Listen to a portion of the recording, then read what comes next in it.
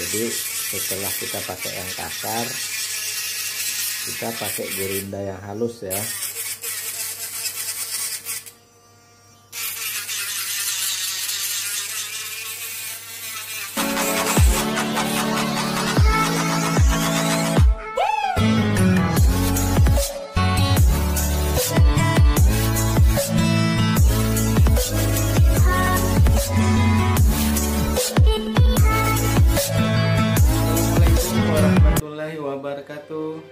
Seperti biasa hari ini kita akan membuat tutorial lagi ya. Jadi hari ini kita akan membuat tutorial Pembuatan gigi palsu bagian atas ya. Nah jadi ini udah kita cetak sekitar satu jam yang lewat. Ini udah kering ya.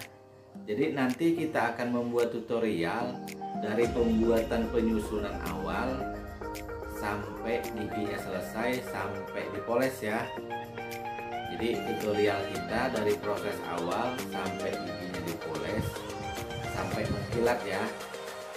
Karena pasien kita ini tidak tidak mau disorot kamera jadi tutorialnya hanya sampai dipoles ya.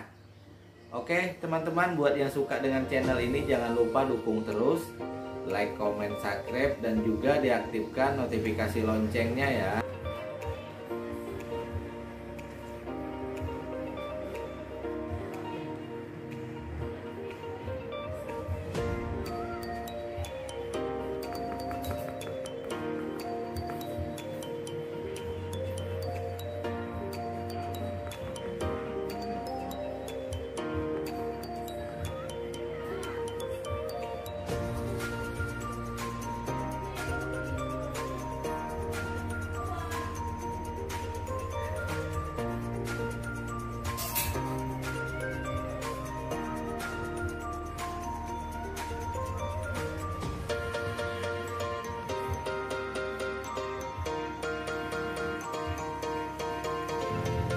ini proses setelah cetakan mulutnya kering ya.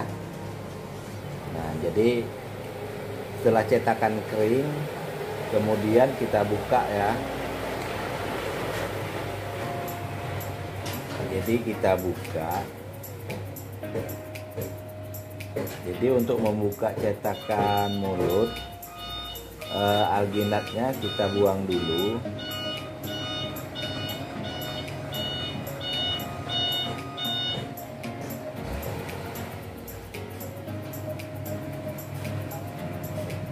kita buang pelan-pelan supaya gigi asli yang masih tertinggal enggak patah ya.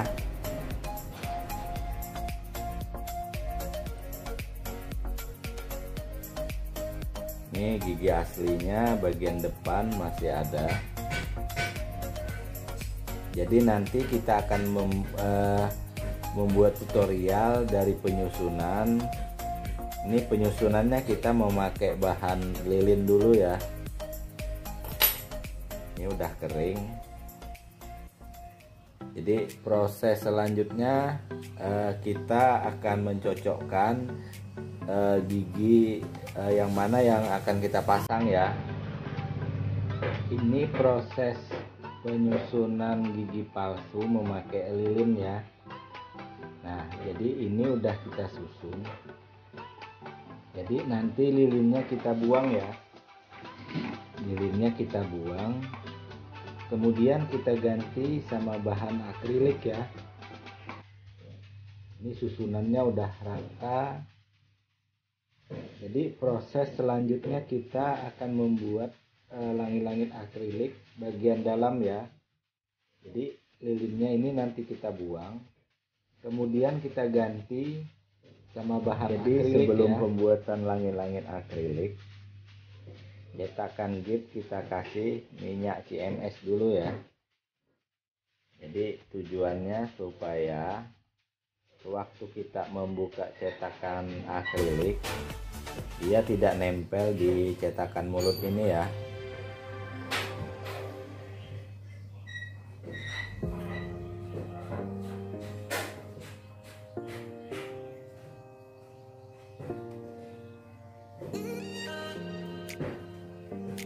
kasih agak banyak ya supaya nanti sewaktu kita membuka lebih mudah ya.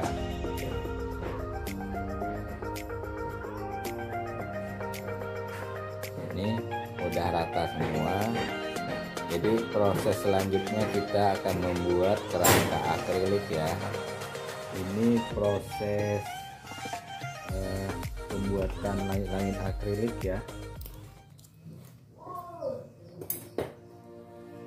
jadi setelah lapisan yang pertama kita kasih lapisan yang berikutnya ya.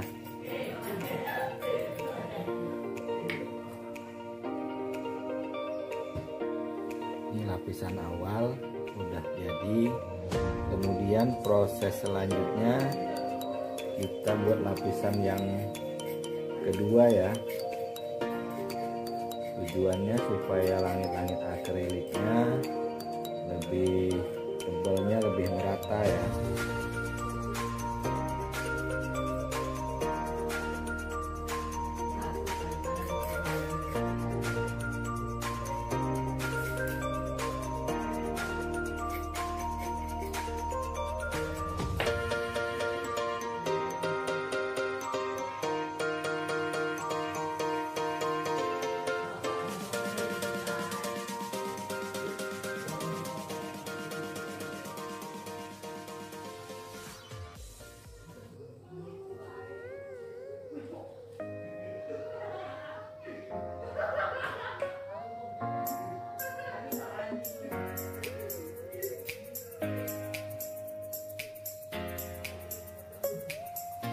ini proses menunggu pengeringan ya.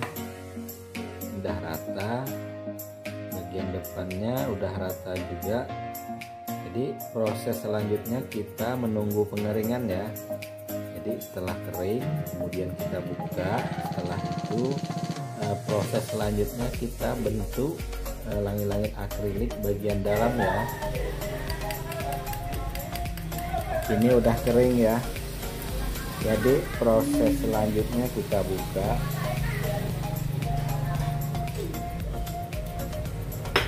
Nah jadi setelah kita buka ini banyak sekali yang tajam ya. Jadi nanti eh, langit-langit eh, akrilik ini kita bentuk. Kemudian kita haluskan ya. Ini masih kasar ini masih eh, belum dibentuk jadi proses selanjutnya eh, kita bentuk dulu ya langit-langit akriliknya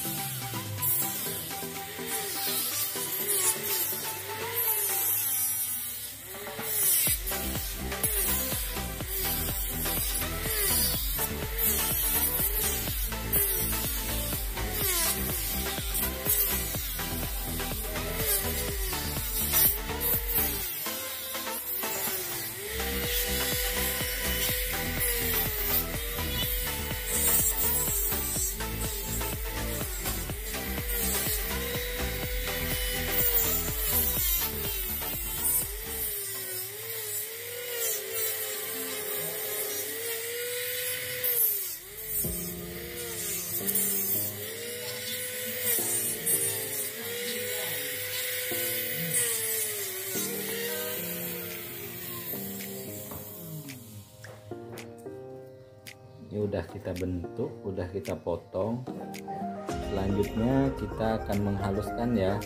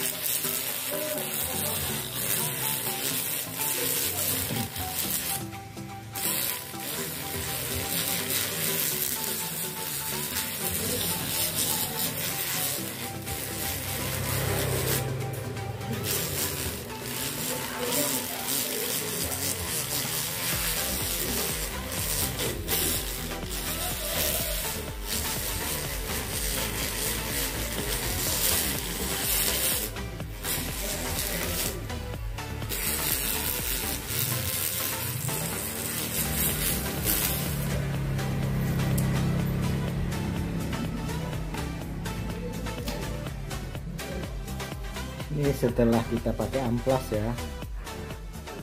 Ini udah halus. Jadi proses selanjutnya kita akan poles lagi ya. Jadi setelah kita poles langit-langit akriliknya ini lebih mengkilat ya